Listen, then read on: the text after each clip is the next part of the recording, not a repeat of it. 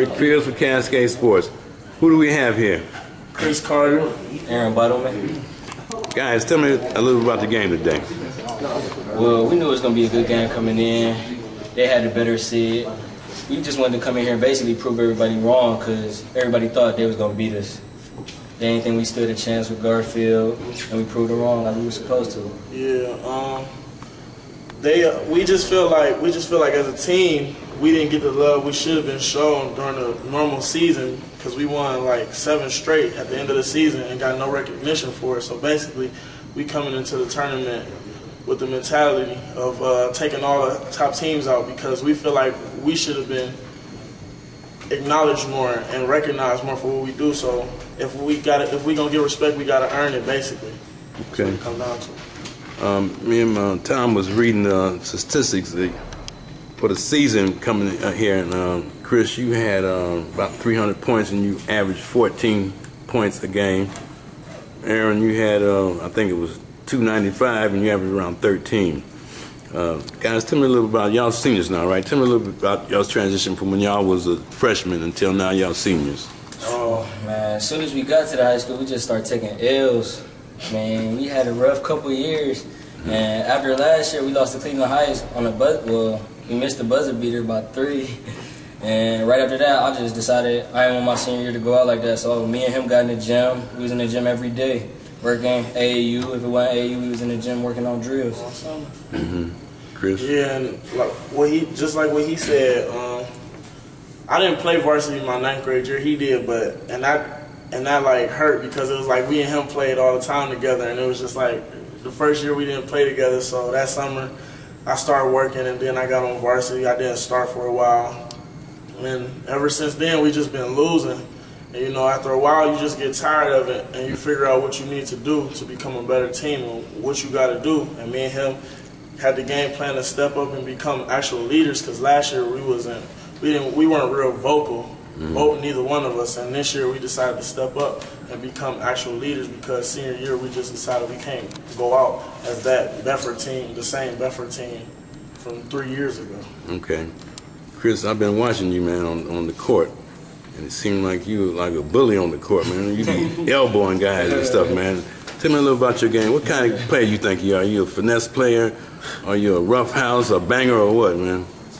I kind of know what the answer's gonna be, but um, tell me, I want to hear your your words. You know, uh, I like to play with power because um, you know you always get told when you're my size, it's uh, it's always people like I can find anybody his height. You know what I'm saying? But I want to I want to have a way to stick out from other players my size and got my type of talent and I just play strong. I play like you said. I like to bully around. If I can, if I think you're smarter than me, then you gonna be my son for the day. I'm gonna son you basically. okay. Because you know, so, I don't, I don't. If I feel like if you don't, if you don't be the aggressor, you gonna get, you gonna get aggressed. You gonna right. be the one to get pushed around. Exactly. So, and with our coaches, we taught to get gritty.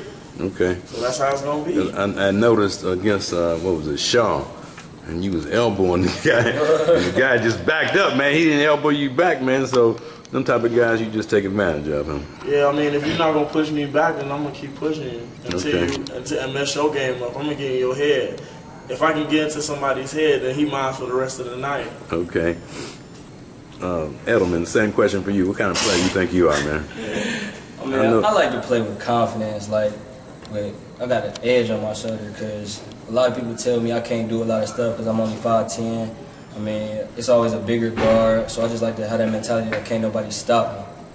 And if I feel like I got you leaning one way, I'm gonna do what I want to do with you. And and just like and that just comes with the fact that we've been losing for the last three years. You get tired of losing, and you got to figure out what you got to do to change that. And I've been real passive these last three years, being the one being aggressive. So I decided to take it in my hands senior year and push some people around. Do the same thing that these older dudes been doing to me. Okay. All right. Last question. Who was y'all's favorite player in the pros or in college? I'd say my favorite player in college is either between Trey Burke and Tay Jones from Garfield. Mm-hmm. And my favorite player that was in the pros was Allen Iverson. What did you like about his game?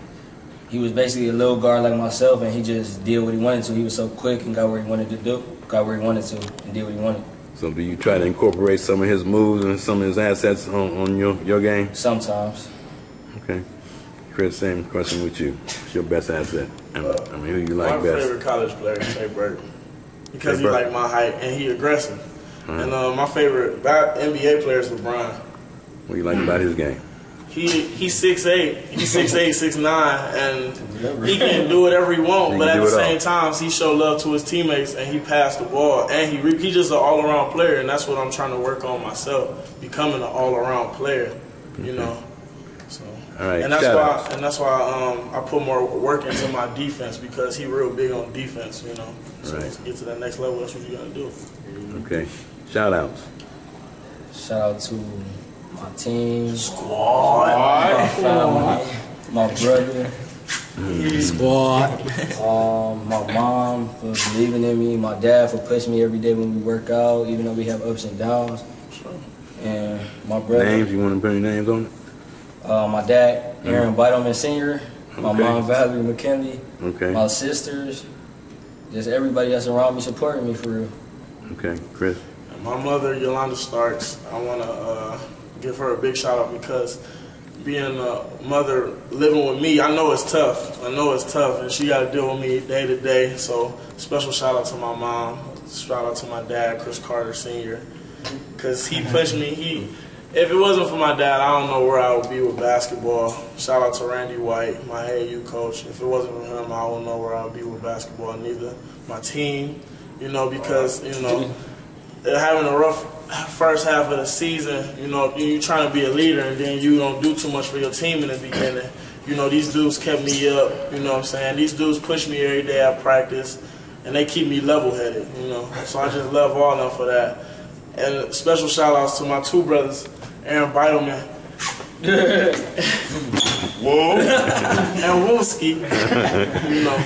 Okay. But you know, without without your family and your peoples around you, you know, you ain't nothing. You know, these are people that teach you up. My, especially Pri- Priola, he like a second father to me. You know, he pushed me just as